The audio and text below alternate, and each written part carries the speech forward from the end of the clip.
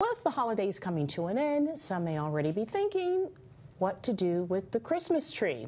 Jillian Fortner tells us who will collect them. Jillian. You might be wondering what's the best way to dispose or recycle your Christmas tree. Luckily, there are a few convenient options in town. We're here at the uh, composting facility at Knott Landfill, um, which is uh, a pretty active area right now with all the Christmas trees being recycled. From now until January 31st, you can drop off your Christmas trees for free right here at Knott's Landfill Recycling. Before you bring it in, just make sure everything is removed from the tree.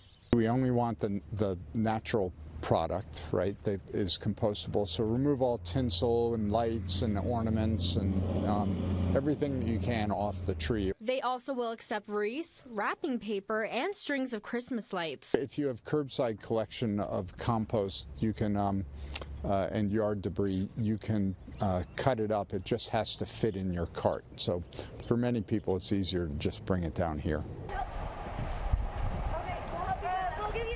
Scouts BSA will also be driving around to pick up trees on December 30th and 31st and January 6th and 7th. Trees should be placed on the front curb by 8 a.m. without decorations. The Scouts are asking for those who use their service for a $10 donation. They say the money will help fund their community service projects and troop activities throughout the year. Although it may be tempting to keep up the tree just a little bit longer, fire officials say as the trees start to dry out, they can pose fire risks. Jillian Fortner, News Channel 21. Tonight we are asking, do you have a plan for recycling your Christmas tree? To weigh in, head over to our web poll on the KTVZ.com homepage.